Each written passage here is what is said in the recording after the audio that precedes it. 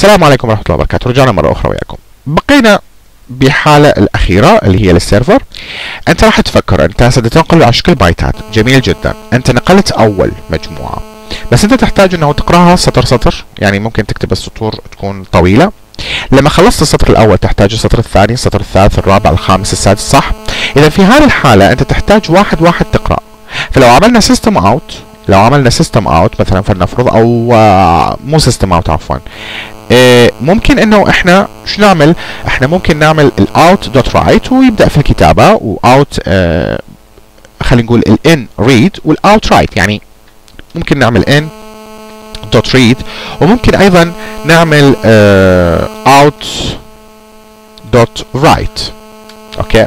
out dot write لكن أنت هذا راح يقرأ لك سطر واحد فقط. أنت تريد أكثر من سطر. أكيد عرفت الفكرة مالتي. إنه إحنا نحتاج إلى شنو؟ نحتاج إلى loop في حالة إذا أنت عندك ال read متوفر في حالة إذا كان البايتات أكبر من صفر اقرأ.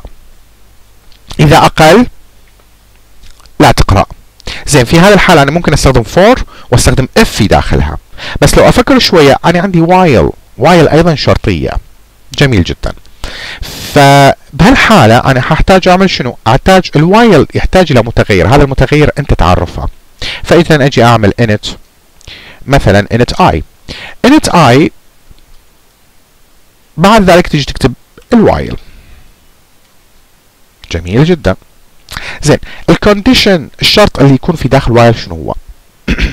حتطلب من while. طبعا هاي الطريقة عائدة صرف لل I/O input output file ليست عائدة لل networking okay؟ أنت ال networking بنيتها بعد خلاص. هسه إحنا بدنا نحكي في ال I/O. مفروض هذا الشيء familiar لك. مفروض هذا الشيء هو مشابه يعني تعرف إنه هذا الشيء موجود. زين شنو الأشياء اللي أنا أعملها؟ أكيد أنتم تتذكرون الدرس هذا في الجافا advance إنه أجي أذكر إنه أقول لل I حيساوي أنا شو أحتاج؟ أحتاج أقرأها سطر سطر. من راح يقرأ لي إياها؟ in. لأن هو يستلم صح. اذا أحتاج إنه ال in يقرأها سطر سطر. في هذه الحالة أجي أقول له in dot. اقرأها سطر سطر read لما يقرأها ال in read طبعا ما أستخدم أي نوع أستخدم ال read فارغة لأن هذا ال read الفارغة هي تتعامل مع ال integer لاحظ انت. هنا تتعامل مع ال integer. اذا ال read ال function مالتك أيضا لازم يكون integer.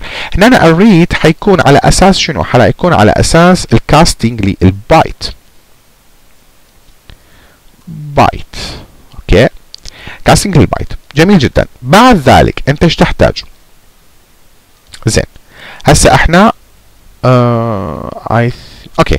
byte. بعد ذلك إيش تحتاج؟ على أن لا يكون أو على أن يجب أن يكون هذا أكبر من الصفر. هذا هو الشرط. اذا ال i حيساوي لك ال in byte آه بايت لأن إحنا سميناه b صح؟ انت لل b حتى يقراها بهذه الصورة بهذا الشكل okay؟ فخلونا نشوف هنا آه هنا أيضا يحتاج try surround with try. okay إحنا الآن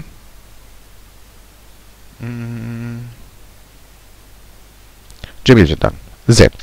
إذا قلنا إحنا ال i هسه نحل مشكلته. ال i حيساوي لك ال in read ك integer آه على يا أساس على أساس ال bytes اللي موجودة هنا. جميل. اللي سميناها ال array مالته b وعلى أن يكون أكبر من صفر. بعد ذلك إيش راح اعمل بعد ما يقراها لازم أحضر شخص آخر يبدأ بالكتابة.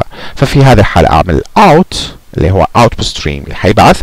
حيكون write هذا ال write حيكون على أساس البايت لأنه هو أصلا دا يقراها ك integer صح لكن على شكل بايتات فاذا حيكون فيها byte ال byte من هو؟ ال b على نفس الأسس يقراها بهذا الشكل. اذا نكتبها بهذا الشكل. هذا واحد. اثنين. الاوفست بين كل جملة وجملة حتكون صفر.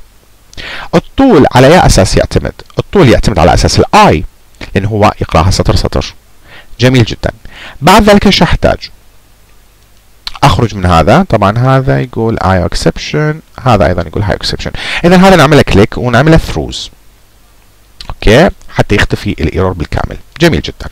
بعد ما خلصت كل هذا أحتاج ال out أعمل له close وأحتاج ال in أيضا أعمل له close وأحتاج ال socket أيضا أعمل له close.